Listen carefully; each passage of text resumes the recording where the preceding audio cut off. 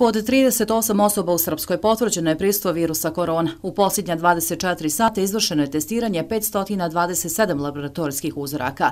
Prema mjestu prebivališta najviše iz Čelinca 11, 5 iz Banja Luke, 4 iz Bijeljine, po 3 osobe iz Derventi i Laktaša te po 2 iz Istočne Liđe i Šamca.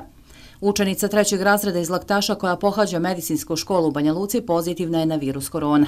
U posljednja 24 časa Institutu za javno zdravstvo Republike Srpske prijavljena su dva smrtna slučaja.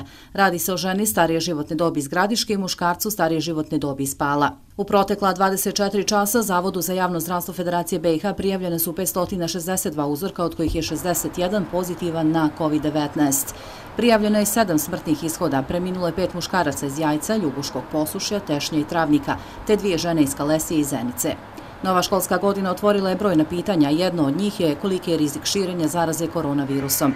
Polovina učenika u 120 osnovnih i srednjih škola na području Tuzlanskog kantona od jutro su u školskim klupama, dok druga polovina na nastavu kreće naredne sedmice, kada će u klupe sjesti učenici Unsko-Sanskog kantona, koji je danas izdao smjernice i instrukcije za odvijanje nastavnog procesa. Po najviše će nam trebati međusobnog uvažavanja i čuvanja jedni drugi.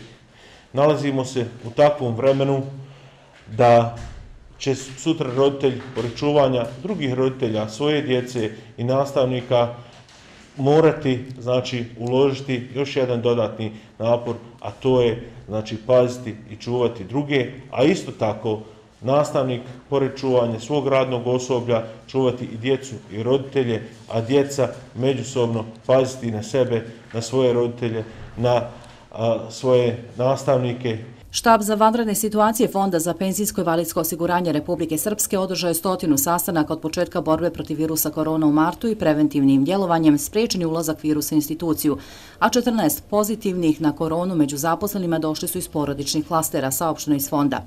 U odnosu na ukupan broj zaposlenih do sada je u fondu evidentirano 14 radnika ili 2,37 osoba pozitivnih na virus korona.